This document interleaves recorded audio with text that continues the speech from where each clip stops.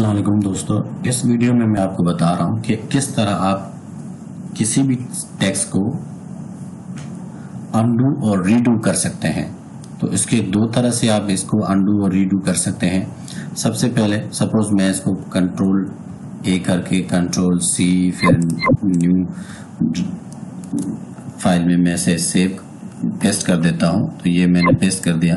अब मुझे लगता है कि मुझे ये पेस्ट नहीं करना चाहिए था तो मैं क्या करूँगा? कंट्रोल जेड दबाऊँगा। तो इससे क्या हो जाएगा? ये अंडू हो जाएगा। This is the undo and अब मुझे लगता है कि ये टेक्स्ट जो है मुझे रखना चाहिए था, क्योंकि सारा मैं टाइप नहीं कर सकता और फिर से कॉपी पेस्ट नहीं करना चाहता तो फिर मैं क्या करूँगा? कंट्रोल वाई दबाऊँगा। तो फिर ये रीडू रीडू हो जाएगा।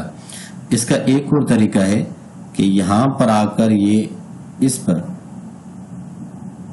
अंडू टेस्ट पर दबाएँगे तो ये अंडू हो जाएगा।